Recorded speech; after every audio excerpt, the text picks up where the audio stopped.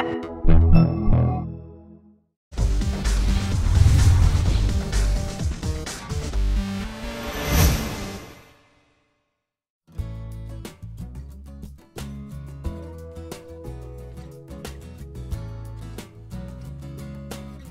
can pretty much write your own magazine and have it published right within wherever you want it to be.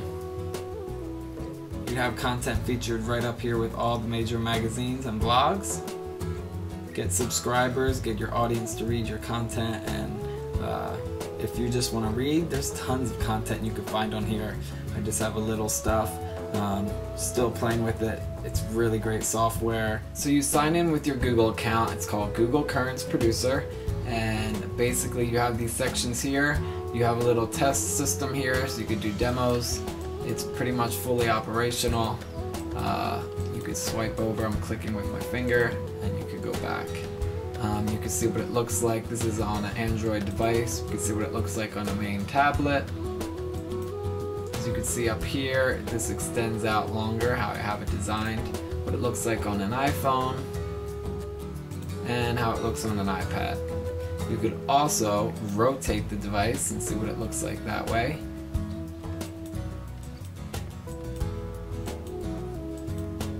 Basically what you have here are different settings. You can create any type of magazine as you want. It's free. You basically just go up here to create new. You type in the name of it. You could throw in an RSS feed, a blog, uh, you know, whatever you have. If you have videos on YouTube, you basically just put in your username and go from there. So once you get that put up, uh, it'll, if you have that default section, you basically get pre-made little theme. Um, you could do an editor icon, which is what becomes the app icon. A splash, splash image, which is basically a default image that would go through the main thumbnail. You could collect email addresses, I guess, for mailing list or information. You could set up your Google Analytics name and description, which basically informs people what your app is. Uh, we're going to call it apps, but they're basically ad additions. Um, sections here, you could add all different types of sections, uh, photos, articles, feed, video channel, social updates, and a table of contents which keeps everything organized. Uh, this channel right here really doesn't have much other than just videos, um, but I'm obviously going to expand up on it soon.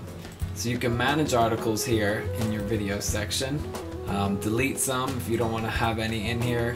Um, you can basically click it and just take it right off. Your media libraries where you could upload graphics and stuff if you want to do custom uh, CSS information and you know all that HTML goodness. Distribute, you could set it up if you own the content, you could test it on the iPad. Um, you have a little thing here, it tells you what to do. This is where you delete your edition in the distribute.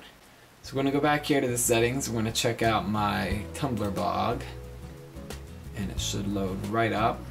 And there you go. I have a custom theme right here. It's just a purple background. Uh, you know, there's not much to it. If you want to customize how it looks, you're going to go into sections and then you're going to click on the section and the header section basically needs to be changed through custom. You're going to edit this information if you're not too tech savvy with coding um, you might have a hard time.